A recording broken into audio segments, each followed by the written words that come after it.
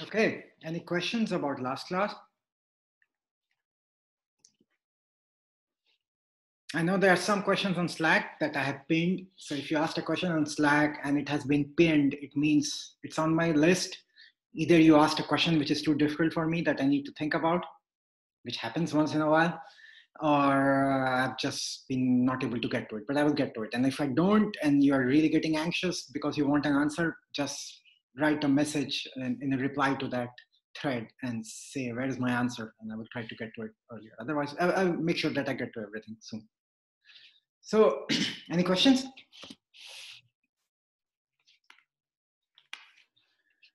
All right, let's resume our conversation about phase boundary. What can we really say about the boundary between two phases? So I will recapitulate some of what I did from the last class and then continue from there. It won't be in as much detail as the last class, but I will capture uh, the, uh, the repeated stuff I will, I will capture. So let's say we have a pressure temperature phase diagram. And let's say we are interested in the coexistence between a phase alpha and a phase beta. What does coexistence mean? It means that along this line, you have go, you're going to have alpha and beta both existing at the same time. And what we want to characterize, what is this line? Why does it look like this? What is, what is the equation governing this line? Because if we know that, then that's a very powerful tool. We know how to control the coexistence of these two phases and, and many other things. So in, for this, we focused on two points, point A and point B. Here I'm drawing them really far apart from each other just for clarity, but otherwise these points are very close with respect to each other. So this is our phase alpha, this is our phase beta, and coexistence along the line of alpha plus beta it's a one component system. So how do we know that alpha plus beta will coexist along a line? It's a one component system. You can use your Gibbs rule, F is equal to C minus P plus two. If you do F is equal to C minus P plus two for a one component system where you have two phases, so one minus two plus two is equal to one or one degree of freedom. Hence the line is one degree of, hence the coexistence is one degree of freedom. If you had a two component system, the coexistence region would have been uh, two degree of freedom. It would have been uh, two, it would have been not a line, but an area. But then we won't be able to draw it in a plot like this. A two component phase diagram is drawn in a triangle, which is called a Gibbs triangle. If I have time, I will get to it later. Gibbs triangle for two component so that that's for later if, if we have time but if, if you don't if you don't get to that that's that's okay for this semester. So we have two points a and b and we are saying that the system is in equilibrium.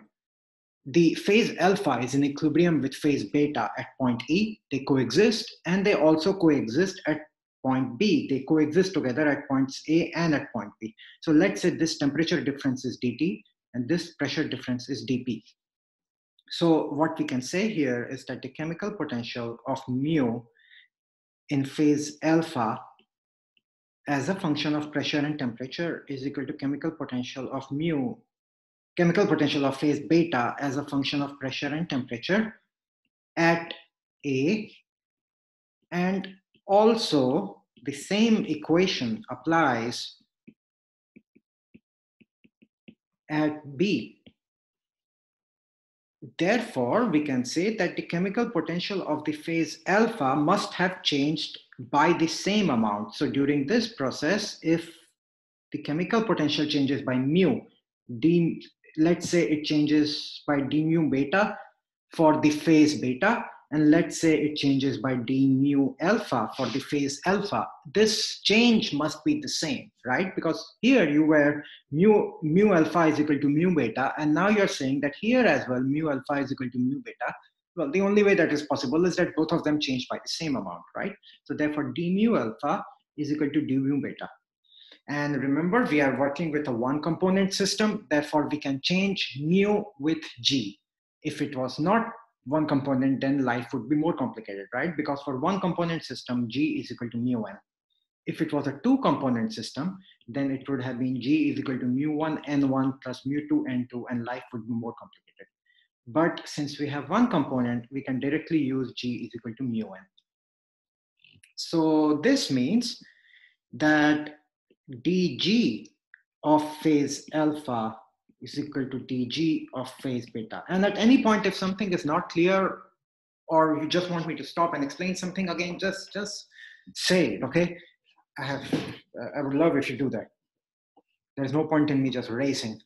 So this means that the Gibbs free energy of alpha and the Gibbs free energy of beta must have changed by the same amount as we move from point A to point B. Now, what do we know about dg? dg is equal to vdp minus sdt, and it's a one component system. So, and the number is not changing. So the third term here, the summation i mu i d and i term does not matter. That goes to zero because first of all, it's a one component system. So d and i, d in one is constant. You're not changing the number. So so dg is equal to vdp minus sdt. So if we take this as equation number one and we take this as equation number two and use two in one, we get dg of alpha, which means v of phase alpha multiplied by pressure dp minus entropy of phase alpha multiplied by temperature dt should be equal to v of phase beta multiplied by temperature dP minus entropy of phase beta multiplied by temperature dt. Or, so you might, one question that you should be asking at this point is which volume are you calculating? Are you calculating the volume at point A or at point B? So this is a Taylor series type of argument. It doesn't make much of a difference where you are calculating the volume. You could assume that you are calculating it at point A, for example. So we, because the thing that really matters here, matters here is V alpha minus V beta. So we get V alpha minus V beta dP is equal to V beta min V alpha minus V beta dP is equal to S alpha minus S beta dt. Did I get it right? S alpha minus S beta. Yeah. All right. Or dP by dt is equal to V alpha minus V beta. Doing the same mistake again that I did last time. How is it even possible? This is equal to S alpha minus S beta by V alpha minus V beta. You could have also written it as S. Uh, let me open the chat. Can you repeat what you said about temperature calculation. What did I say about temperature calculation? I didn't say about temperature calculation. What I said about is this V alpha. Is it V alpha at point A or is it V alpha at point B? How do we know, right? I have not specified that. What I'm saying is it doesn't matter because what really matters is the difference between V alpha and V beta. So it's, it, it is at some point along the line it's, it's an arbitrary location along the line. This calculation could have been done at A. You could have started this calculation and done it at B. It doesn't matter. That, that's what I was saying. Or this is delta S during the phase transition, delta transition S by delta transition V. And this equation is quite important. It is called the Clapeyron equation in order to derive it, we did not make any assumptions regarding the nature of interaction of the species that is undergoing the phase transition, right? We did not say it's an ideal gas or a van der Waals gas or anything like that. It's really simple, like two lines, three lines of derivation applicable to phase transitions at equilibrium. And it's really general, it's really powerful. So let's use this to look at three classes of phase, trans phase transition, which are the most common. We will use this to look at solid to liquid phase transition, liquid to gas phase transition, and solid to gas phase transition. Last, last time we started looking at the solid to liquid, I did it in a slightly rushed manner. I'm going to go through it again. And that's where I will show you why ice skating is not an example of localized melting. And on the Slack later, I will post some very recent research articles which actually go into why it happens. And the, yeah, it's, it's, still an open question, I think, apparently, as to how does ice skating really work. People are still arguing over it. So first, let's look at the solid to liquid phase transition.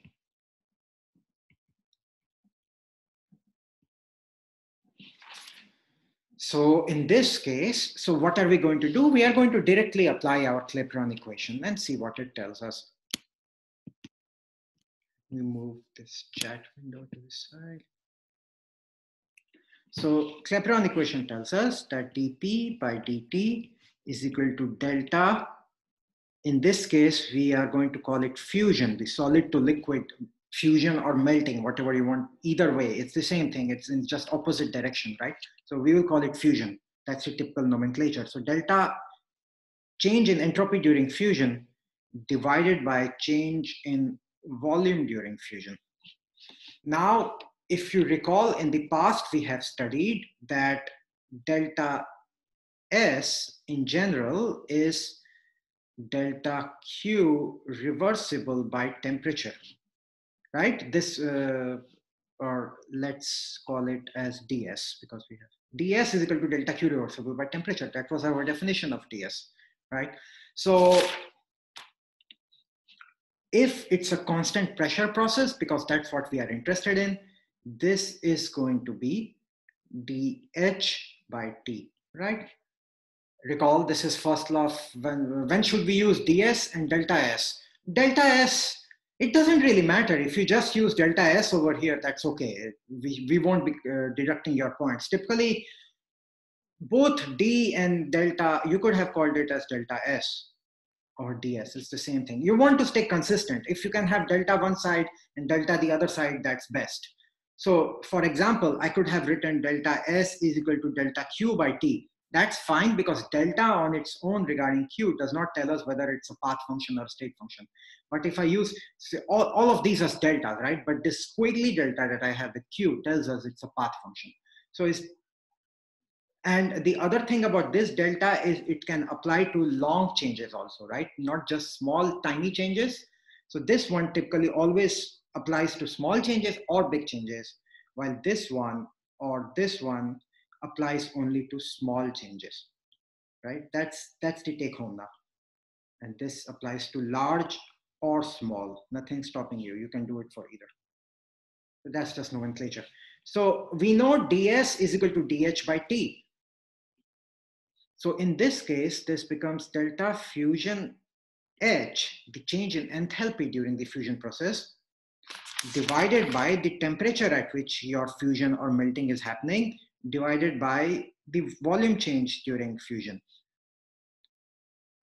And I'm going to write in as write it as delta fuse H by temperature delta fuse V.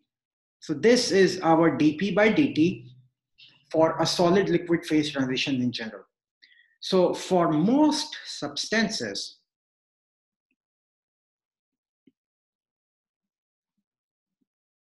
delta fusion H is more than zero.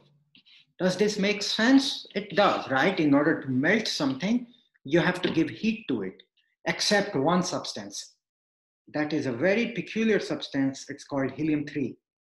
At very close to zero Kelvin, very close to absolute zero, helium becomes a super, super, uh, super fluid. And in that case, funky quantum mechanics starts to play a role. And in order to melt it, you don't give heat, but you actually extract heat in order to melt it, which is really strange quantum mechanical behavior. Maybe you will study about it in 482. We are not going to talk about that here, but it's okay to assume that for almost everything we know, delta fusion, H, the change in enthalpy during fusion is positive. You have to give heat to the system in order to melt it.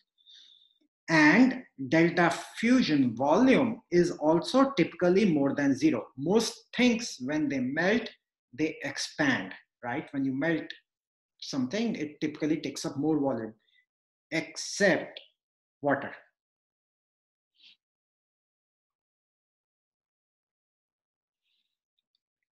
Except water.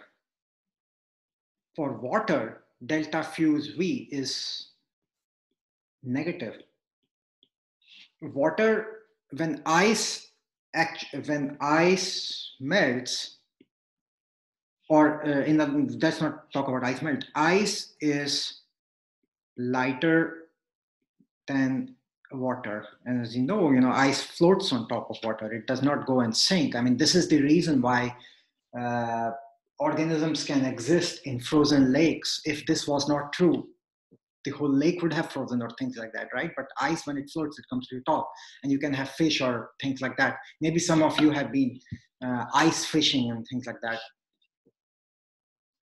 Yeah, this is kind of cool. So ice is lighter than water, and that's for for water delta fuse volume is less than zero. So what does this mean? For almost for most of these materials or chemicals that you know, both of these are positive. Therefore, dp by dt is positive for almost everything. In fact, you can say, let we'll get to water in a moment. In fact, you can say that V liquid tends to be so much more than V solid for most materials. When it melts, the change in volume is quite high. Therefore, dP by dt is not just positive, but, oh, sorry, I, this is, we are not talking about gas. So my bad. When we go to gas, we know that V gas is much more than V liquid and V gas is much more than V solid. But remember when we were looking at the comparison between internal energy and enthalpy for a system, we said if the system is entirely liquid or some liquid and some solid, it is okay to approximate enthalpy by internal energy. There the idea was that while V liquid is more than V solid, it is not tremendously more. It is kind of in the same area when a liquid becomes a gas, the change in volume is enormous. When a solid sublimates and becomes gas, the change in volume is enormous. But when a solid becomes liquid, the change in volume is not enormous, maybe 5%, maybe 10%. It's not preposterous. In fact, for ice and water, it's the other direction. So what does this mean? This means that V delta V fusion is positive, but kind of close to zero. It's not much larger than zero. What does this tell us about dP by dt? dP by dt has delta V fusion in the denominator, right? So therefore dP by dt is a large positive number, right? Because the denominator is so small for almost everything and a large negative number for water. And I'm not going to go into helium-3 here. Large negative number for water. We can draw this. We are talking about the slope, right? So if we draw our pressure temperature phase diagram, and here we are talking about the coexistence between solid and liquid, dP by dt is large. The slope is large. What does that mean? If the slope is, and let's ignore water for a bit, does it mean dp by dt is going to look like this? Or does it mean dp by dt is going to look like this? Which one is more correct? And here we are talking about solid and liquid coexistence. Which curve is more correct, A or B? Given that dp by dt is large positive. Any ideas? Which one should it be? You can just type in chat A. Good, thanks, Matt. Anyone thinks it's B? If you think it's B, then try to tell me why, and I will try to explain to you why not. You can see, right? This curve has a higher slope. That's the property of a slope. In fact, the y-axis has a slope of infinity, right? The x-axis has a slope of zero. So we can say this is not true. The curve that is going to be applicable is this one with a very, very high slope. In fact, for most materials, it's, it tends to be almost vertical. The difference is not a lot at all. For everything, for nearly everything, for water, it's going to look, again, a steep line, but it will look like this. Solid and liquid, because now the slope is negative right? So dp by dt now has a negative slope. So this is how our solid liquid line looks for water. We can find an equation for this line. How do we do that? For any, any material, not just, water, uh, not just the top one or water, but for any generic material, we can try to write down the full equation because here we have just written the slope. So how do we do that? We have dp by dt. So equation for the P as a function of T curve for solid liquid coexistence. Let's do that. So we have dP by dt is equal to delta fusion H by temperature delta fusion V, right? So let's put dP on the left side and let's put everything else on the right side and make an assumption that delta fusion H and delta fusion volume are temperature independent, which is not the best assumption because these things will depend on temperatures. If, if they really depend on temperature, then you will have to put them inside the integral and your life will be more complicated. So let's assuming, assuming these are, so that's an assumption assuming these are independent of temperature. So, and this is where you can see we are, we are now getting a bit weaker because when we derived our Clapeyron equation over here, this one was really assumption free, except equilibrium, that's fine. We are talking about thermodynamics where things are in equilibrium, thermodynamic equilibrium exists. So, so this is really assumption free. But this one is a big assumption. We are assuming that delta fusion H and delta assuming both numerator and denominator are independent of uh, temperature. So, and let's say this means going from pressure P1 to P2. So let's say we are talking, let's say we are talking about some pressure P1 and some pressure P2, and we want to connect both of them. So here I drew a straight line because it's a small part, but in general, it's going to be a curve. So how do we do that? Now we can say therefore P2 minus P1 is equal to delta fusion H by delta fusion V ln of T2 by T1. That's our equation. That tells us the change in pressure as we change the temperature. If this one was T1, and this one was at T2. And this could also apply to this curve over here. If this was P1 and P2, this could have been T1 and this could have been T2. If you know the value, you can go and tell the change in pressure. Or if you know the value of the pressure, you can go and tell, the change in temperature. Okay. Before we move into liquid to gas and solid to gas phase transitions, will we have to deal with a situation where we assume both are independent of temperature? Oh, Elizabeth wants me to design an exam problem for you. Yes, sure, Elizabeth, I can make such an exam problem. It will be just math. There will be nothing funky. You know, you will have some expression. But if you go and apply this, I don't know, if, you, if you're going to work in a biochemistry lab at, at FDA or NIH or somewhere, and you have a protein that you have done experiments on, most of the times for real materials, it won't be the case but you won't have this nice ln t2 by t1 expression holding, but it, the, the, the science behind the problem is no longer complicated. You know how to deal with it. It's just that instead of integrating dt by t, you have to integrate it, integrate dt by t multiplied by something else, which is a function of temperature. So it's just a question of a bit more complicated integration. And hopefully you will have a computer doing the integration for you and you won't be doing it by hand. So it will be simpler.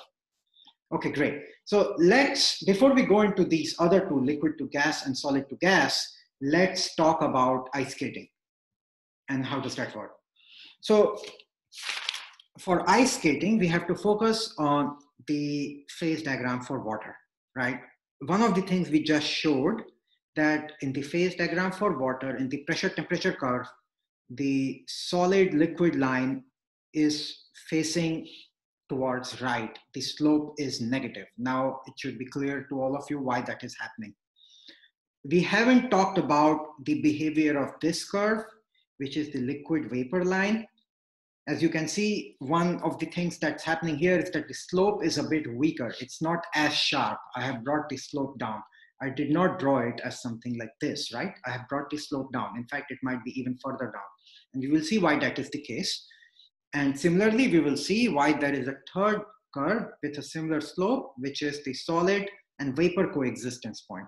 So this one is called the triple point. And this is the critical point. We will be talking about the critical point this week in a bit of detail at which the critical point is a very funky point at which you cannot distinguish between liquid and vapor. The surface tension entirely disappears. So you, you just can't tell whether it's liquid or it's vapor. It's, it's all looks the same. But right now we are not interested in the triple point or the critical point. We are interested in something very specific. We are interested in this part of the phase diagram, the solid liquid part of the phase diagram. So let me talk, let me put the title here ice skating uh, unexplained because I'm not going to show you how it works. I'm going to show you how it does not work, how what you thought about it, which was even I was taught in high school or earlier, is actually wrong. So in order to do this, let's say this is our zero degrees Celsius line. And if you have ice skated, you know the rink is not at zero degrees Celsius, right? You're typically slightly below freezing. If you're going to be at zero degrees Celsius, it won't be ice. It will be, uh, it will just be water everywhere. So typical temperature of an ice skating rink tends to be around minus seven degrees Celsius. It's a bit below zero degrees Celsius. Typically a bit lower. So at minus seven degrees Celsius, let's say this is our one bar atmospheric pressure. This is where we should be, right? So at minus 7 degrees Celsius, at one bar, we are going to be in deep in the solid region, right? Ice skating won't work because it's just solid ice. So the idea is that we apply some pressure on the ice thereby your skates with very sharp things that you're going to apply. And you apply so much pressure that you move up and go and touch this line, the solid liquid coexistence line. And that's when the ice would melt, right? So we want to calculate that. We want to calculate this delta P that will roughly correspond to this delta T of 7 degrees Celsius. That's what we want to calculate. If instead of minus 7 degrees Celsius, we were further deeper in, if let's say we were over here, one bar at minus 14 degrees Celsius, you can see the amount of pressure you need to apply will be even higher, right? It will go up even more. And you know why it will go up a lot? Why will it go up a lot? Because this black curve is really steep, right? It rises very, very steeply. So if you are at minus 14 degrees Celsius, the amount of pressure that you need to apply to get up to the solid liquid coexistence is going to be even, oh yeah, really low. Well, well, well, good point. Again, Zach, good question. I'm not explaining how ice skating works, right? So I'm just going to show you that at minus seven degrees Celsius, where ice skating is actually done in the rinks, this delta P is going to be a huge number.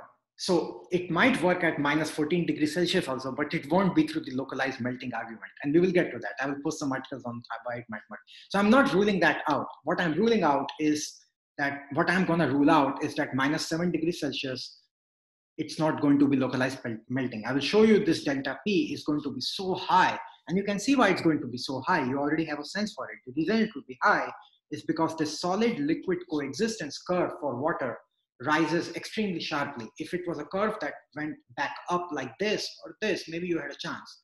But as we saw, the delta P by delta T rises so much higher that it's, uh, it's, it's, uh, it's gonna be problematic. There is another question, does delta T extend to zero degrees Celsius or the curve?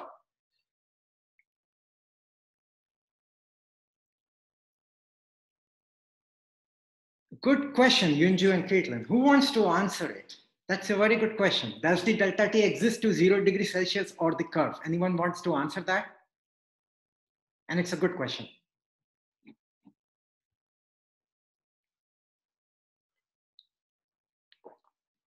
Caitlin, you said it happens to line up. That's correct. Why? You can unmute yourself.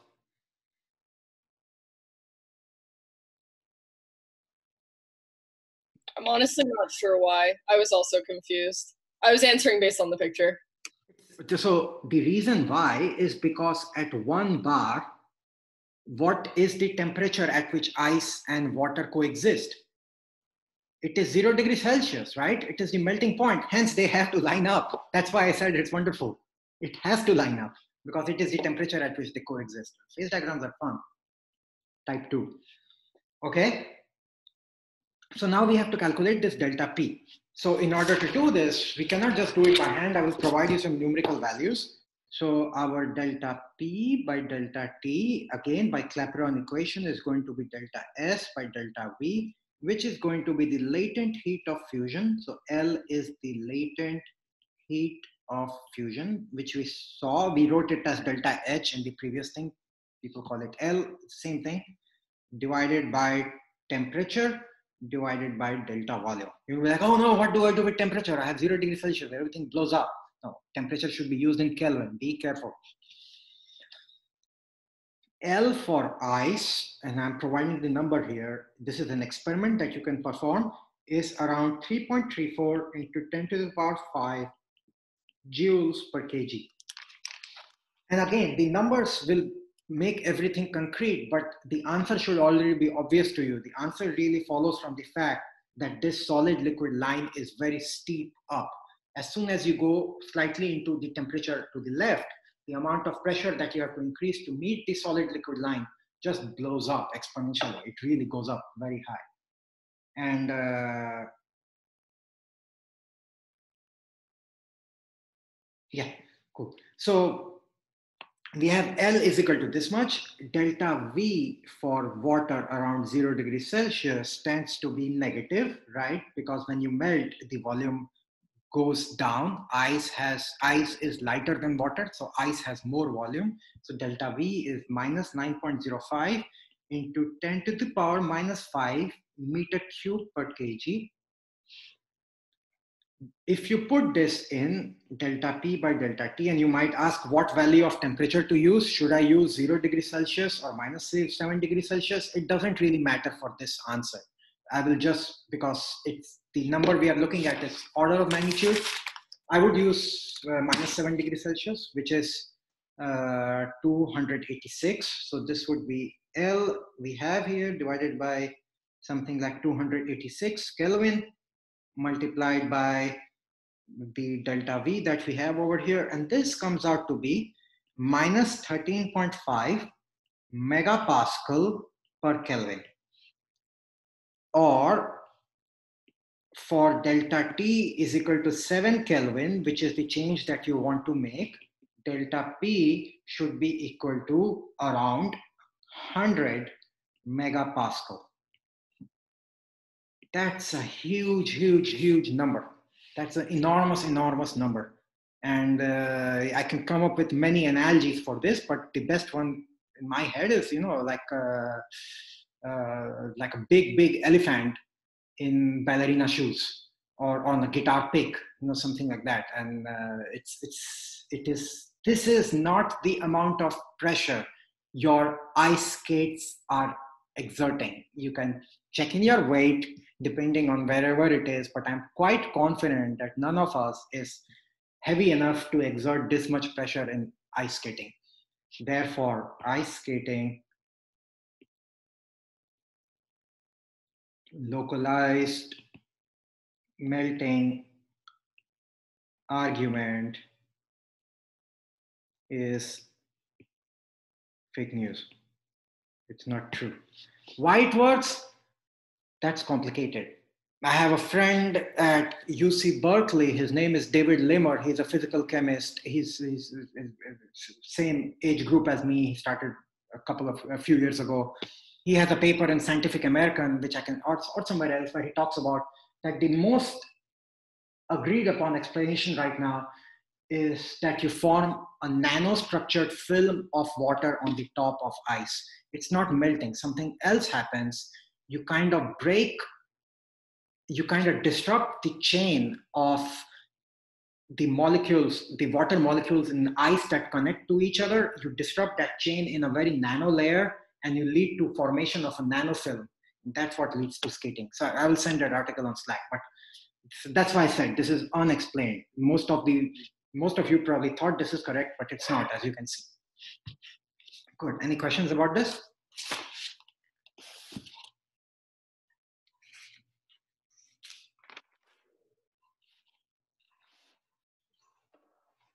Okay, good. So, so we have just, uh, how did I get T equal to 286 Kelvin? How did I get it? It's minus 7 degrees Celsius, right? 286 is minus 7 degrees Celsius. Like I said, you could have used 293 Kelvin at 0 degrees Celsius. It wouldn't have changed this 100 megapascal number, right? I kind of just approximated it. So around, around 293 Kelvin, a bit lower if you were doing it at, so th that's not the main number here. The main number here is that delta volume. The reason why this really happened is because this thing is a small number it's negative, but it's a small number. The denominator has a number close to zero. Hence, the thing delta P by delta T blows up. Does that make sense, Noel? So many of you asked about it. You, you can just put in 293. The level of approximation that I did here to multiply it by 7, 13.5 multiplied by 7 is not 100. It's something else. Yeah, whole point. You do 0. Oh, is it 273 Kelvin? Oh, yeah, yeah, you're right. Sorry. I need some coffee. Sorry.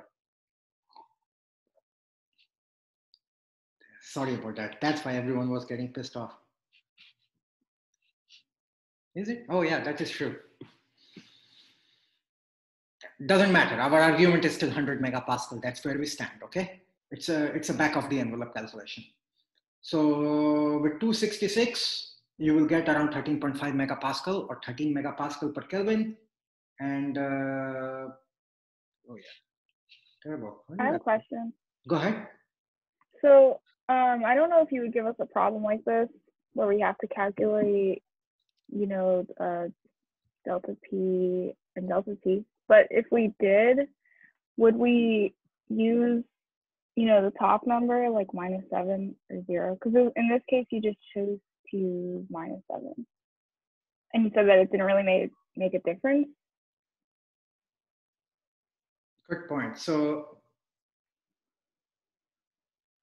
there is going to be that is the first problem on the homework this week is related to this so that will help you answer your question how about that okay and if you get really confused like no now i don't know how to solve this problem then come and ask us okay but uh, the, the thing to keep in mind is that this change we really derived it in a differential form dp by dt what does that mean? dp by dt differential means that the dt should be small. We are not talking about large changes in temperature, correct? If you're not talking about large changes in temperature, that T1 and T2 are going to be the same. If you're talking about large changes in temperature, then you have to use this integrated form. That's the answer here. Since we are going to use this to talk about small changes in temperature, the error that you will make by changing something in the denominator will be will per construction has to be less than a few percentage points. Okay? Could friction slightly increase T and decrease dP? Oh, let's not go into friction. Friction is the beast of non-equilibrium. In a perfectly equilibrium world, there will be no friction. Friction and dissipation are the beasts of non-equilibrium. So uh, please remind me to post the article on Slack later after the class. Don't remind me right now because then I won't see it. I will post that article there. You'll see friction also plays a role yeah, it, it's, it's, it's, it's still not, I don't think it's completely clear as to how it is work. People are still arguing over it. Okay, great. So yeah, so to answer Noel's question, this, this temperature, you could take the top one or the bottom one, the, and to be very clear, to be very precise, you should actually take the middle one to really talk about it. But it doesn't matter because you're talking about a small delta t. If you don't have a small delta t, you shouldn't be using the differential form of the equation anyway. You should be using the integrated form of the equation. So integrated form, let me make this clear here. Integrated form is useful when T2 minus T1 is large. Okay, that's the whole thing about differential form versus integrated forms. You use one when the change is small. Differential form you use when the change is small. Okay, let's go to liquid vapor boundary. So we did solid liquid. Now let's talk about liquid vapor boundary. So in this case, again, we will have dp by dt is equal to delta vaporization H divided by temperature divided by delta vaporization volume, right? So delta S has been replaced by delta vaporization H by T. Once again, for almost all materials, I don't think I know of a counter example. Delta vap H is positive. You have to give heat in order to vaporize something.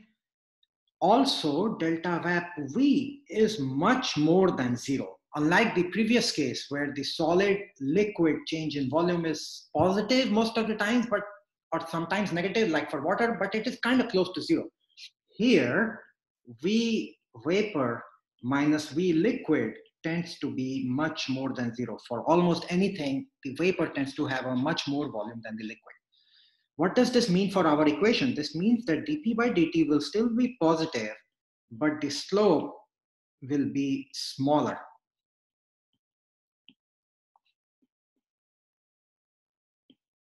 Than for solid liquid. Why will it be smaller? Because for solid liquid, when we were dividing by delta fusion volume, that was a very small number, right? When you divide by a very small number, you get a very large number. Here we are dividing by this number, which is very large. When you divide by a very large number, you tend to get a small number, right? So dp by dt is also positive, but it is less so than solid liquid. So how, let's go to our phase diagram where we had drawn a line and I'm going to ignore water for now. We had drawn the line for solid liquid, for solid liquid, which looked something like this, right? Solid liquid. And now I'm talking about liquid vapor. Liquid vapor is going to look something like this. It will, it also has positive slope, but this slope slope difference is the thing you really need to keep in mind here. And it came from a very physical reason that delta VAP V is much more than delta fusion V, okay? So we can again try, so this is again for differential changes. So to, going back to the question Noel and others asked which temperature to use here doesn't matter much because it's the differential change. If you're talking about integrated changes where the temperature varies a lot, in other words, how about the pressure temperature curve for liquid vapor coexistence? What can we say about this? We make another assumption here. Last time we made an assumption that delta, we made assumptions that delta fusion H and delta fusion V are independent of temperature. Here we again make the assumption of perfect gas. Assume that vapor is perfect gas. It's a huge, terrible, not terrible, it's a big assumption, right? Why would it be vapor gas, uh, a perfect gas? But let's say it's a perfect gas to derive an equation. Let's assume that vapor is perfect gas. In this case, we can say that the V gas is equal to RT by P and even though I'm doing it here for perfect gas, hopefully you will see that you could have done it for some other equation of state. Maybe to, the reason why I'm doing it this way is because if you follow this, then if you did have some complicated equation of state that you got from experiments, you could still repeat the calculation, nothing would change. Therefore, delta VAP V is equal to V gas minus V liquid and I will approximate it as V gas. Why can I do this? Because V liquid is much smaller than V gas. In turn is RT by P. Therefore, dP by dt, I should start numbering my equations more. What was the last number?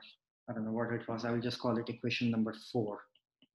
Therefore, from four and five, where this is equation number five, we get dP by dt is equal to delta VAP H by temperature divided by delta VAP V what is that? That is RT by P. So this becomes P over RT, right? So this thing looks like P delta VAP H by RT square. So dP is equal to dt multiplied dP by uh, or dP is equal to this. Therefore, dP by P is equal to delta VAP h by r dt by dt square. So it's a different integral now, right? When we start to integrate it, last time we had integrated dt by t, but now for this, this was true for the uh, integrated form, assuming delta fusion H and delta fusion volume are independent of temperature, came from integrated dt by t. Here, it's going to come from integrating dt by t square. So this will be p1, p2, t1, t2. And once you do this integral,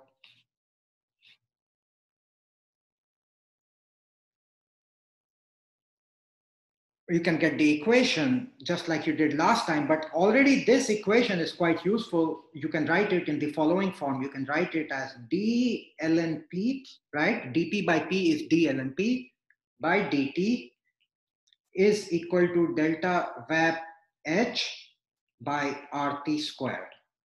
This is the form in which you will see this equation quite occasionally, quite frequently, and it has a name. The name can be a bit confusing because it's so similar to Clapeyron equation. This one is called Clausius-Clapeyron equation. Clausius-Clapeyron equation, therefore, is an approximate form and I want to highlight this, this is much more approximate, approximate than Clapeyron equation. The Clapeyron equation, we assume nothing. For Clausius-Clapeyron equation, we have assumed that we have made one big assumption really. We, we have made two big assumptions. We have assumed that V gas is so much more than V liquid that V liquid can completely be ignored. And secondly, we have assumed, so this is assumption number one. And this is assumption number two. On top of that, we have assumed, so first we assume that V gas is much more than V liquid. And on top of that, we assume that V gas is given, that, given by that of an ideal gas. If we do that, we get this Clausius-Clapeyron equation applicable to liquid vapor transitions. Clausius equation, however, was applicable to solid, liquid, liquid vapor, vapor, liquid, anything, all types of transitions. And uh, next time, we will talk about the solid vapor boundary, which is again very simple. Or let, let me just finish this because it is so so short dp by dt is equal to delta sublimation now divided by T delta sublimation volume here. Once again, delta sublimation volume is going to be much more than zero. Why? Because V gas is so much more than V solid. And in general, delta sublimation H is also positive. Therefore, dP by dt is positive and a small number. Why is it a small number? Because the denominator is such a large number, more than zero. So finally, we can draw our all three curves here. We have pressure, temperature. We showed that solid liquid is kind of steep and positive except water. Liquid vapor looks something like this. It is less steep and solid vapor will also be similar steepness to solid to liquid vapor and it will look something like this. So this, this is our solid plus vapor coexistence. This is our liquid plus solid coexistence. And this is our liquid plus vapor coexistence. Next time, we are going to talk about this very peculiar point called the triple, the critical point. And uh, I also want to highlight that this would be true for water. This would be true for everything else. Next time we will talk about triple point of water or, or triple, uh, sorry, critical point, and uh, then we will move on to solutions. We won't be talking about more complicated phase diagrams than this because we have lots of concepts to cover. And no office hour for me today. Connor will be doing his office hour tomorrow. And there will be a new homework due on Wednesday morning. Uh, there will be new homework released on Wednesday morning. Okay, and you can ask me questions on Slack. I will be holding office hour